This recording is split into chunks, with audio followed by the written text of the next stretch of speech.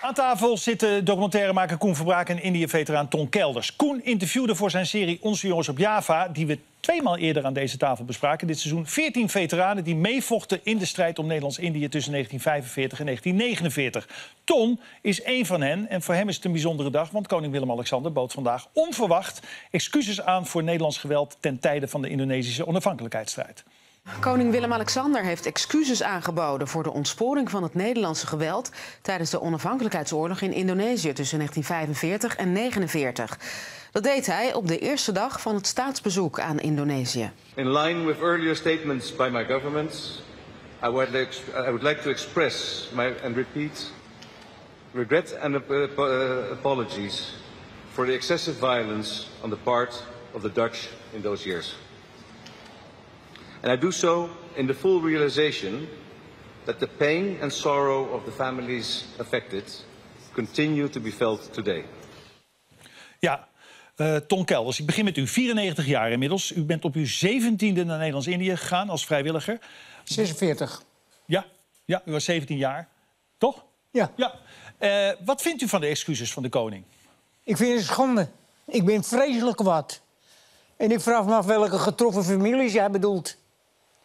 Misschien de families van die 6000 gesneuvelde jonge jongens. Mm -hmm. Waarom bent u vreselijk kwaad Waarom eigenlijk? moet hij excuses aanbieden? Ik vind dat hij daar geen recht toe heeft. Hij is de koning van Nederland en hij moet zich daar niet mee bemoeien, vind ik. Nee, nee.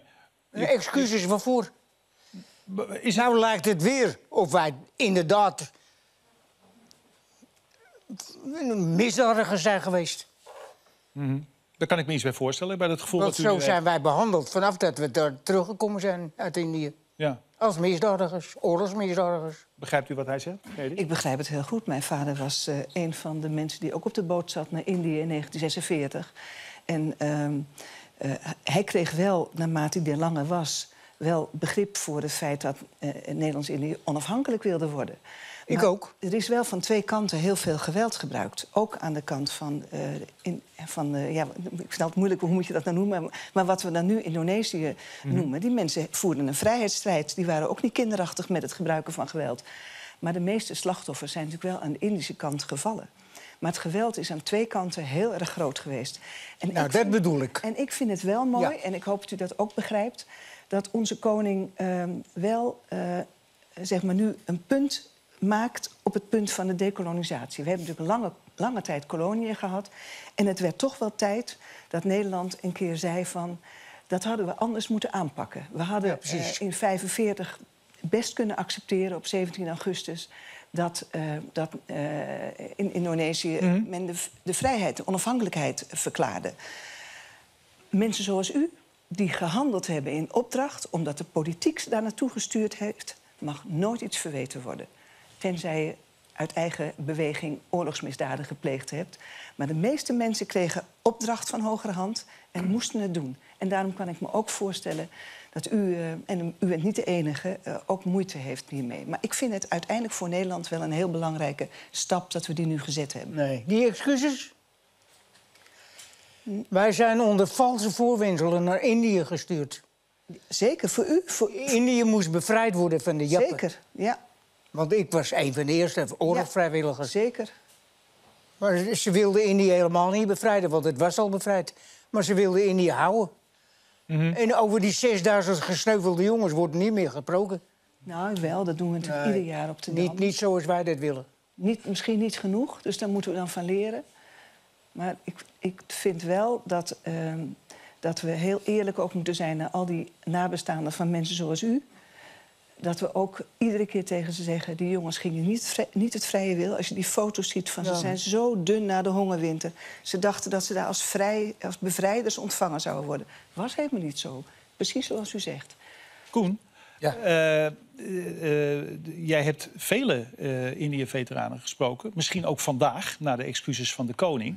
Be- wat is jouw idee eigenlijk bij de excuses van de koning? Hoe heb jij daarnaar geluisterd? Ja, wat mij opviel is dat hij eh, excuses aanbiedt voor de geweldsontsporingen. Dat is iets anders dan dat hij zegt we hadden nooit naar Indië moeten gaan. Ik heb het idee dat hij excuses aanbiedt voor de echte ontsporingen, voor de oorlogsmisdrijven, maar niet voor die decolonisatieoorlog. Zo close reading Wise heb je denk ik gelijk, want dat zijn letterlijk Ja. zijn woorden. Maar dit is de interpretatie, althans, dit is de kop van de NRC Handelsblad. Nederland zat fout in Indië. Dan Ja. is het alweer wat ruimer geformuleerd. Zeker. Hè? Ja. Dus Want hij, her- hij- hij herkent de, de datum van de onafhankelijkheid. Dat is interessant, want En hij zegt is in- 17 augustus. En daar hebben we natuurlijk Ja. vier jaar... eh, hè, Uiteindelijk werd het lang ontkend. Dus dat is toch een he- De datum stap. waarop Sukarno zijn, Ja, wij en zijn Hatta, ons eigen land. Ja. Zeker. Heb jij eh, eh, eh, meerdere mensen gesproken, behalve Ton Kelders vandaag... van de mensen die jij voor je documentaire hebt gesproken... die eigenlijk het geluid van Ton vertegenwoordigen. Die ook zeggen, ja jongens, maar ik maak nu onderdeel uit... van de zwarte bladzijde in de vaderlandse geschiedenis. Ik ben daarheen ges- Ik was 17 jaar. Wat, wat- Ja. Ik heb gewoon voor vaderland gestreden. Zeker. En, ik sta nu dat als... te was ook als zo natuurlijk. En, en ik, ik merk wel dat die excuses ook als een beschuldiging worden eh, ervaren. Dat is zeker zo. Maar... um, en, en, je moet natuurlijk ook aantekenen dat die Indonesiërs natuurlijk ook, wat u ook al zei, enorm geweld tegen de Nederlanders hebben gebruikt. Hè? Ook tijdens de Bersia-periode zijn duizenden mensen omgekomen.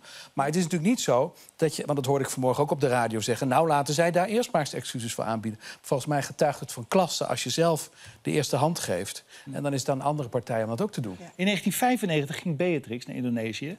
Eh, die was al van plan, Ja. althans dat lees ik gewoon in de krant vandaag... om eigenlijk de excuses ook al aan te bieden.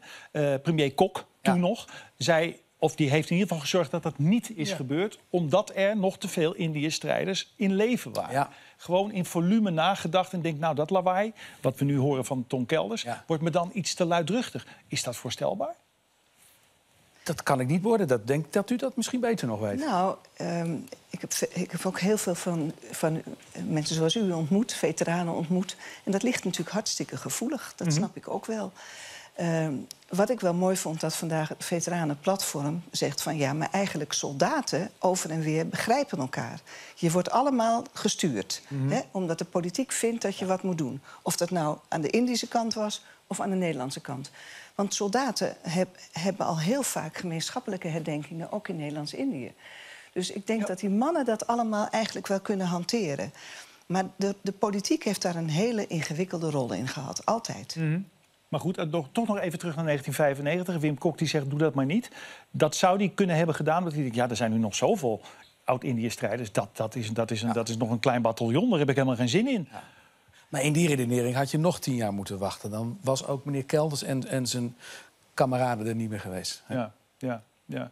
Ja. Zullen we even kijken naar... eh, ik, we kunnen even iets laten zien over, over, over deze strijd. Eh, ik denk, zal, zal, zal iedere kijker ongeveer weten wat er gebeurd is? Nou, laten we toch maar even kijken naar wat er gebeurde tussen 45 en, en 49. Ik denk dat je het moet uitleggen. Bij de slimste mens wist niemand wat Bersiap was. Nou ja, dan gaan we het nu uitleggen. Het is augustus 1945. Twee dagen na de Japanse overgave roept Sukarno de onafhankelijke republiek Indonesië uit. In de vier jaar die volgen stuurt Den Haag 120.000 militairen naar de oost om de Indonesische nationalistische opstand neer te slaan. Politionele acties worden ze verhullend genoemd. Maar het is niets minder dan een echte oorlog die in vier jaar tijd ruim 100.000 Indonesiërs en meer dan 6.000 Nederlandse militairen het leven zal kosten. Ja, het gaat dan inderdaad, eh, meneer Kelders, eh, volgens de koning... voor de geweldsontsporingen hè, van de Nederlandse zijde. Eh, in de documentaire van Koen zit een militair, eh, ik ben zijn naam nu even kwijt... Oostblok, denk ik. Ja, die het heeft het ook over de oorlogsmisdaden die hij heeft begaan. Heeft u oorlogsmisdaden begaan? In elke oorlog gebeuren misdaden. Dat is ook in Indië gebeurd. Maar wat ik ook in het interview gezegd heb toen met Koen... 70% van de uitgezonden militairen waren geen misdadigers. Nee. 30%, dat zeg ik hoor, 30%. Dat waren, die waren avonturiers. En dat waren mensen die op andere mensen wilden schieten. Ja. Die waren er. Daar was u er Een niet één, Wesseling daar was u er niet één van. Ze waren er wel. Ja. Maar wat wil je? Het wordt een politionele actie genoemd. Mhm. Maar het was gewoon een smerige oorlog. Maar een echte Matthijs- smerige oorlog. Matthijs vroeg of u, het ook, of u ook oorlogsmisdaden had begaan. U? Ja, ik? Ja? Ik heb nooit oorlogsmisdaden begaan. Nee. Waarvoor? Ik, ik, kwam, ik kwam daar die mensen, dacht ik, te bevrijden. Ja. We hebben wel gevochten tegen de Jappen, maar die, die wisten nog niet dat de oorlog al voorbij was. Maar die mensen die het, zeg maar die mannen die te ver gingen, gingen ook heel vaak te ver in opdracht. En dat is iets wat nu, dat, dat- wat Niot nu aan het uitzoeken is met een aantal andere instituten. eh, om precies te kijken waar de eigen verantwoordelijkheid ligt van de top van eh, de krijgsmacht... voor uiteindelijk wat er do- door de, men- door de mannen gedaan is, hè, door de militairen. En dat is denk ik... Ik denk in wezen dat dat is waar onze koning excuses voor heeft aangeboden. Dat ging niet per ongeluk. Dat is, georga- ja, dat is georganiseerd Ja. geweld geweest. Ja, ja. Ja, Maar je hoort bijvoorbeeld niks over de Bersia-periode. Dat, dat Indonesiërs slachtoffers die daar in die concentratiekampen zaten martelden. Ja, Die dus al vier jaar gemarteld waren door die jappen. ja, En die werden door die, door die gasten nog een keer ploppers. Ja. Het Was net, dat, dat waren niet Indonesiërs die dat deden. Het waren wel Indonesiërs, maar eh, net wat je nu ook hebt. Ja. Ploegen. Die willen graag andere mensen pijnigen en doden. we krijgen u niet rustig vanavond, dat is duidelijk. Nee, Nee. het is een aparte dag. Voor iedereen, maar zeker voor u. Want ik, ik wist er niet eens hoor, dat hij excuses aangeboden had. Want ik hoorde het toen ik dat telefoontje kreeg. Ik was meteen kwaad. Meteen. Ja. Weer een excuus. ja. Het is een open zenuw, hè? En terwijl ze... Want toen wij wat ouder... Toen, in die leeftijd die wij toen hadden, wist je weinig. Vergeleken bij nu. Maar toen wij ouder werden, toen kregen wij wel in de gaten... dat het gewoon een vrijheidstijd was daar. En zo handelden wij ook. Alleen, het is een oorlog. En het is jij of, jij, jij of ik. Fijn dat u er was vanavond bij ons om erover te praten. Dank u wel. Dank u wel.